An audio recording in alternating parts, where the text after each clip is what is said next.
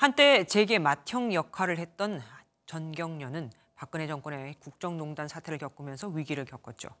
그 뒤 한국경제인협회로 이름을 바꾸고 지난해엔 4대 그룹이 재가입한 데 이어 오늘은 포스코 등 20개 기업이 회원이 됐습니다. 이제 과거의 명성을 되찾을 수 있을까요? 김종민 기자가 보도합니다. 국정농단 사태에 연루되며 정경유착의 고리로 지목됐던 전국경제인연합회.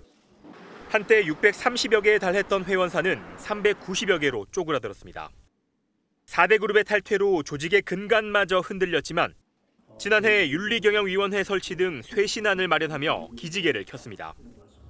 초심으로 돌아간다는 의미로 1961년 출범 당시 명칭이었던 한국경제인협회로 다시 돌아갔고 경론 끝에 4대 그룹도 회원사로 복귀했습니다. 어두운 과거를 깨끗이 청산하고 투명한 기업 문화가 경제계 전반에 뿌리 내리도록 솔선수범하겠습니다. 오늘 열린 이사회에서는 포스코를 비롯한 20개 기업이 회원사로 가입했습니다.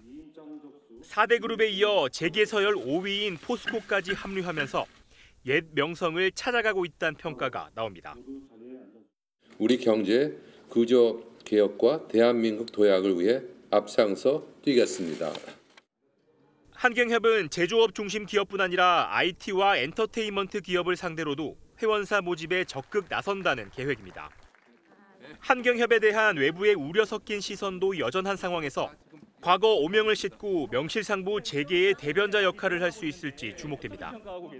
MBN 뉴스 김종민입니다.